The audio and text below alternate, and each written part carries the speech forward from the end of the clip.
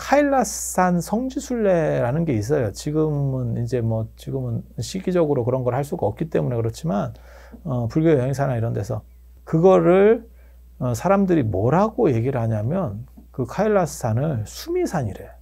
거기 이제 뭐 토라 간다. 토라가 이제 산을 이렇게 한 바퀴 도는 거거든요. 그게 수미산이 아니고 시바를 상징하는 시바의 산입니다. 아, 시바의 그래서 산 모양 자체도 그게 딱 생겼어요. 음, 그리고 불교적으로는 그거를 뭐라고 부르냐면 그건 향산입니다. 카일라산이 아니고 향산, 향산, 향산, 향취산. 그 산에 대흑산 위에 에, 향산, 향취산이 있고 거기에 대력의 신이 있다. 큰 신이자. 그게 시바신이거든요, 사실은. 그래서 이런 것들은 사실 기본적으로 다 정리가 되는 부분인데도 불구하고 한국 사람들은 뭐 워낙 또 신경 안 쓰고 남이 뭐 그렇다 하더라 그러면 무조건 그냥 그렇게 생각을 하니까 이게 유래가 있어요. 어, 해인사에서 예전에 추가 생활도 하셨던 분 중에 다정 김규현이라는 분이 있는데 그분이 방송에 나와서 카일라스 산이 수미산이에요. 이렇게 얘기한 거예요. 수미산은 올림푸스 산이나 이런 것처럼 우주산이기 때문에 실제 하는 산이 아닙니다. 현실에 존재할 수가 없습니다.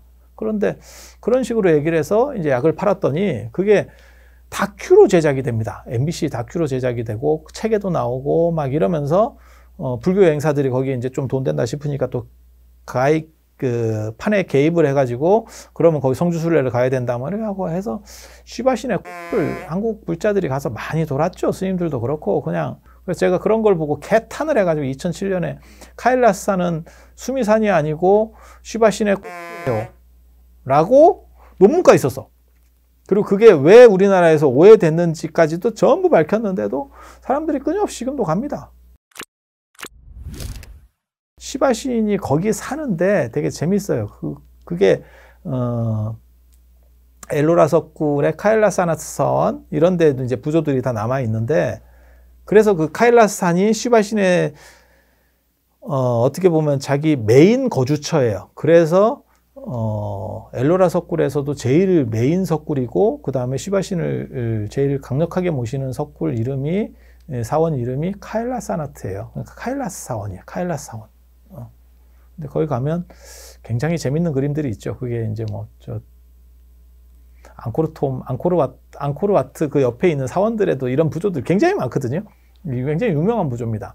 스리랑카의 악마 라바나라고 하는 게 있어요. 그러니까 스리랑카가 인도로 보면 인도에 이렇게 인도 지도가 있으면 옆에 인도의 눈물 뭐 이렇게 하잖아요. 보석처럼 이렇게 생겼잖아요. 음, 펜던트처럼 생겼는데 스리랑카가 어떤 역할을 하냐면 우리나라식으로 말하면 대마도 역할을 합니다. 그러니까 흔히 생각할 때 외구 이러면 일본 사람 아닙니까? 아닙니다. 대부분 대마도 사람입니다. 일본 본토 사람은 일본 안에서 살지 이렇게 노략질하러 많이 나오지도 못해요. 근데 대마도가 무슨 특징이 있냐면 대마도 같은 데는 섬이 적기 때문에 흉령이 들면 사람이 그냥 죽을 수밖에 없어요. 그러니까 노략질이라도 해서 밖에 나가서 뭐라도 뜯어내야 돼요. 그래서 외구의 대부분이 대마도 사람이에요. 사실은 일본 사람, 본토 사람이 아니고 어, 제주 생각하시면 돼요. 제주도가 흉년 들면 제주 사람은 그냥 죽는 거예요. 그러니까 나가서 한번 뭐라도 노략질이라도 해보자 힘 있을 때 그렇게 되는 거거든요. 그래서 우리 그런 거 있잖아요. 태종 이방원 때 이종무의 대마도 정벌.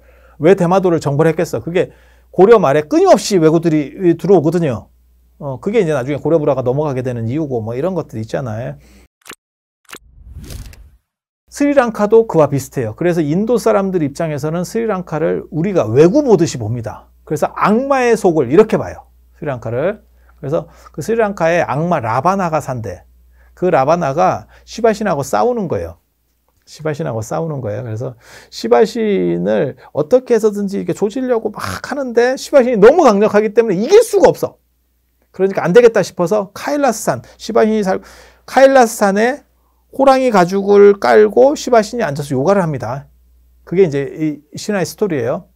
그리고 그 마누라가 파르바티라고 하는 마누라, 정, 시바신에게 부인이 많은데 정비가 파르바티. 이렇게 해서 이제 같이 에, 마누라하고 같이 있으면서 요가 아, 그 요가가 좋아. 우리는 금욕적 수행인데 걔네는 에, 마누라랑 같이 있으면서 요가를 해. 요가가 쉽게 에, 그겁니다. 참고로 말씀드리면 자세 꼬고 이런 거는 하타 요가 어, 그런 거 요가가 아니고요. 요가는 정신 집중입니다. 예, 정신 집중. 그래서 명상이 요가예요. 어. 그런 단 인간은 동물인데 어, 너무 앉아서 이렇게 명상만 하고 있으면 몸의 기능들이 무너집니다. 그러면 결국 죽을 수밖에 없기 때문에 그 어느 어느 어디가 깨져버리면 인간이 넘어가게 될 수밖에 없잖아요. 그러니까 그거를 단시간 내에 몸의 근육들을 푸는 방식을 생각을 한 거죠. 그게 몸 푸는 요가예요. 그래서 불교 안에도 요가 학파가 있어요. 그게 육아 법상종이라고 하는 거고 미륵 미륵 모시는 어, 세친의 예, 유식종이 내나 그 요가 학파고 불교 요가 학파고 그러니까 힌두교 학파가 있고 불교 학파가 있어요. 그리고 불교 안에서도 몸 자세를 틀어서 내가 어, 예를 들어서 인간이 움직여야 되는데 안 움직이고 계속 명상만 하니까 그거를 단시간 만에 몸을 틀어서 그러니까는 풀어주는 방식 그 방식이 불교 안에도 있는 거죠. 그런 게 나중에 어, 중국으로 넘어온 것 중에서 가장 유명한 게 남자들이면 알 수 있는 거 달마 역근경 되겠습니다. 역근 세수경 어, 그런 걸 잘 모르시면 젊은 분들이고 이런 역근경 이런 거 잘 알면 많이 들어봤다 이러면 대부분 다 나이든 어, 그러니까 무협지 세대들이죠. 무협지 세대 하면 최상승 모공 하면 다 닮아요. 닮아요. 궁금이 별게 없어요. 뭐 별을 본다. 뭐 이렇게 하고 뭐 칼을 뽑는다. 뭐 이런 도인법. 그러니까 체조 비슷한 겁니다. 어. 그런 정도 생각을 하시면 되고 그래서 요가라고 하는 게 명상이다라고 하면 돼요. 그래서 명상을 딱 하고 있는데 라바나가 무슨 생각을 했냐면 저 카일라스 산 전체를 들어서 꼬꾸라 맺혀버리면 슈바신이 꼬꾸라져서 어, 낭패를 보고 크게 타격을 입을 거다. 그래서 그걸 들어 올립니다. 밑에서 딱 이렇게 해서 라바나가 쫙 칼라산을 들어 올려. 음. 그랬더니 시바신이 어, 진짜 엽기적인 행동을 하죠. 어, 마누라 파르바티에 만지면서 어, 여신 여신은 또 큽니다. 인도 여신의 특징이 굉장히 큽니다. 그래서 그거를 그냥 만지는 것도 아니고 옆에 여자를 앉혀놓고 옆에 이렇게 팔짱을 끼고 이쪽으로 넣어서 만지. 그 도상이 언제나 정해져 있어요. 그 도상 굉장히 재미있습니다. 만지면서 어, 오른쪽 엄지 발가락으로다가 산을 딱 누르니까 야 영상이 안 찍혀서 그런데 내가 지금 엄지발가락으로 바닥을 누르고 있거든. 이렇게 딱 누르니까 라바나가 어 마치 그 발에 밟힌 지렁이처럼 꼼지락거리지도 못하고 이렇게 하고 있더라. 그 얘기는 뭐냐면 악마 정도 수준으로는 악마 정도 수준으로는 시발신의 엄지 발가락 그것도 집중해서 하는 것도 아니에요. 마누라 면서 그냥 어, 그냥 소일 삼아서 이렇게 틱 한번 건드렸더니 애가 갈라고 하고 있어. 이런 정도예요.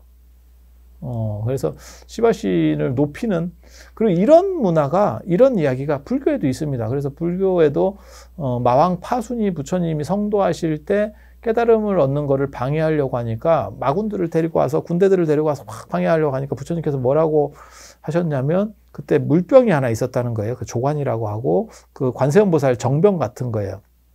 앞에 바위에다가 딱 올려놓고 이거를 너네가 쓰러뜨리기만 하면 내가 진 걸로 하겠다. 어, 라고 했더니 어, 그 군대들이 악마 군대들이 전부 거기에 밧줄을 걸고 땡겼는데 감히 그것도 뭐 움직이지 못하더라. 그러니까 부처님의 본신은 둘째치고 그 물건 하나도 어떻게 할 수가 없다. 이게 팔상도에 나옵니다. 팔상도 그림에 보면 어 저 뭐야 수하항마상 그림에 꼭 그 그림이 나옵니다. 그런 거 있고 부처님 생애에도 뭐가 있냐면 부처님 무술 대회 할 때, 그러니까 이게 인도의 내용들을 알면 그 스토리들이 보이는 거예요.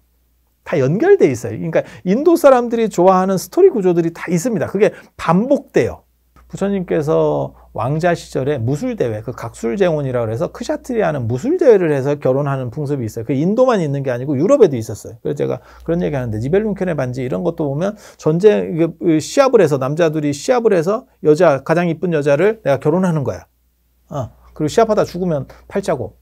어, 뭐 그렇게 하는 거거든요. 그게 무사 집단들에게서 있는 거 있는 건데 그때 에, 선가강이라고 하는 어, 이웃 나라 공주의 공주가 야쇼다라예요. 그 여자 아, 그 부처님이 나중에 이제 부인이 되는데 어, 한 500명이 도전을 했다는 거예요. 그때 이제 무술 대회를 성가강이 누구랑 꼭 결혼시키면 나머지 사람들하고는 척을 지겠다 이래서 그런 무술 대회를 열겠다. 그래서 거기서 무술 대회에서 부처님이 1등을 합니다. 그때 기록에 보면 부처님이 1등, 그 다음에 2등이 이, 난타, 3등이 제바달다. 뭐 이렇게 나오거든요. 음, 후대에 덧붙여진 이야기입니다. 그냥 그러려나 하고 들으세요.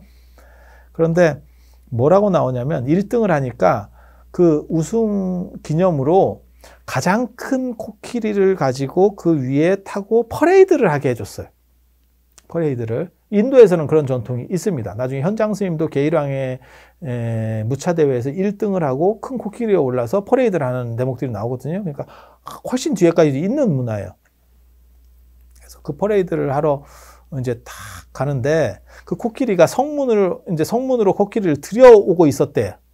근데 제바달다가 3등을 하고 아, 기분이 더러워가지고 어, 나가다가 성문에 그 코끼리가 들어오니까 저게 태자가 탈 코끼리냐? 퍼레이드 하는 코끼리냐? 그러니까 예 이러니까 주먹으로다가 주먹으로다가 코끼리를 가격을 했대요.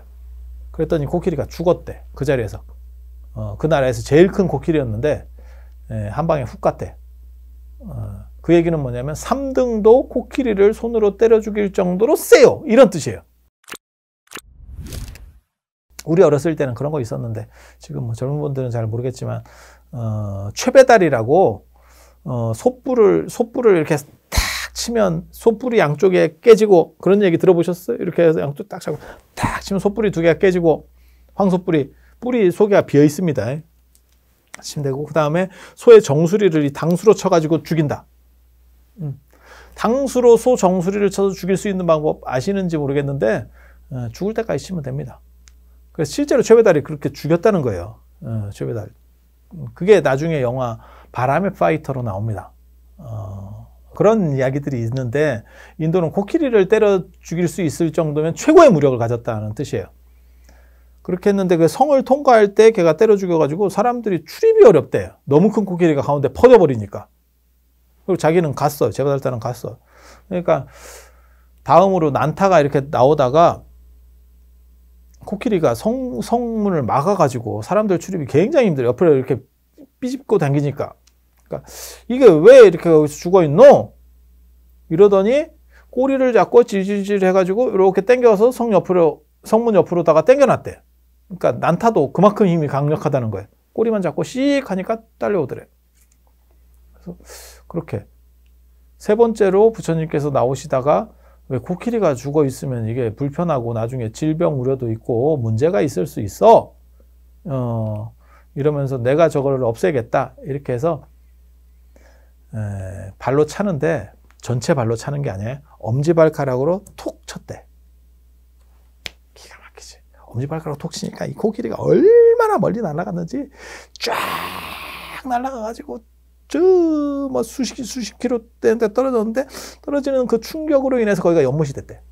땅이 패여가지고. 언뜻 보면 야 저런 게 어딨냐? 근데 비슷한 논리 구조죠 지금. 시바 신이 악마 라바나가 카일라산 전체를 들어올려고 하자 엄지발가락으로 살짝 눌렀다. 이건 엄지발가락 하나로 찼다. 이게 이게 뭐냐면 게임도 안 된다라고 할 때 인도 사람들이 흔히 쓰는 비유구나라는 걸 이해할 수 있는 거예요. 우리식으로 말하면 어, 저건 깜냥도 안 되는 게 뭐 이런 식의 논리 구조라고 보시면 돼요. 그래서 어, 시바신이 이제 이렇게 악마를 이기고 이것 이것도 굉장히 재밌는 구조예요. 왜 비시누 신도 악마를 이기거든요. 그게 이제 라마야나에 보면 라마 왕자로 환생을 했을 때 비슈누가 환생을 했을 때 그 마누라인 시타 시타가 제일 이쁜 거예요. 뭐 제일 이쁜 여자인데 뭐 생각하시면 되냐면 어, 트로이의 목만 생각하시면 돼요. 근데 그거를 악마 라바나가 스리랑카로 잡아가요. 그 여자를 어, 잡아가.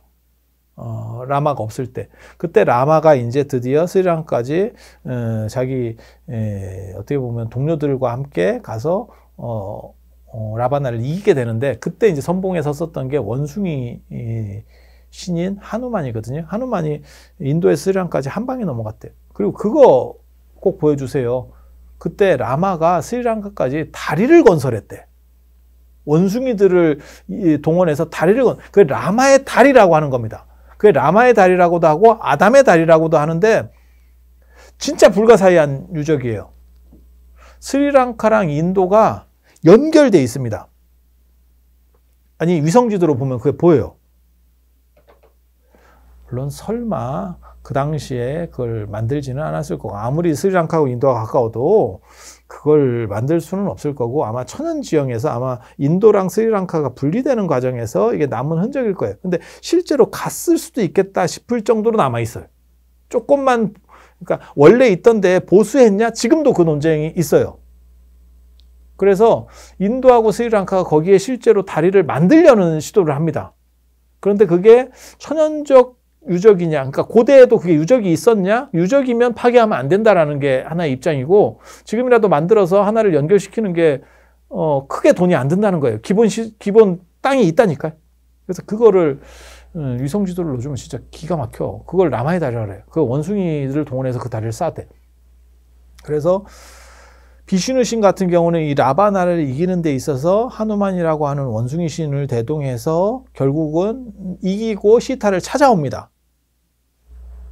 그게 비슈누 신화에 나온다면 그러니까 봐봐 되게 재밌어.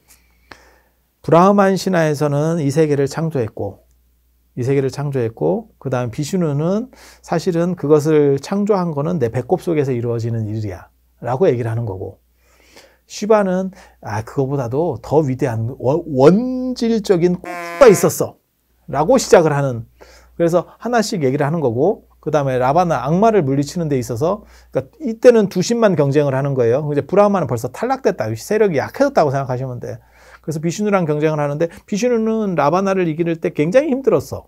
어, 굉장히 힘들어. 다리도 놔야 되고 원숭이도 동원해야 되고 굉장히 힘들었어. 그런데 슈바신 입장에서는 엄지발가락 하나로다가 상대를 이길 수 있는 어, 그런 구조가 되는 거예요. 그래서 어, 슈바신의 신화 구조가 뭘 얘기하려고 하는 거냐면 비슈누 신도 게임도 안 돼요. 어, 라고 얘기하는 구조. 그리고 그렇게 되는 이유는 더 늦게 만들어졌기 때문에. 그리고 슈바신의 어, 신앙이 훨씬 더 범위가 큽니다. 범위가 크니까 인도에서 어, 어떻게 보면 인도 전역에서 시바 신앙이 제일 크고 그게 지역마다 좀 달라요. 그래서 이건 북방식 시바에 대한 생각입니다.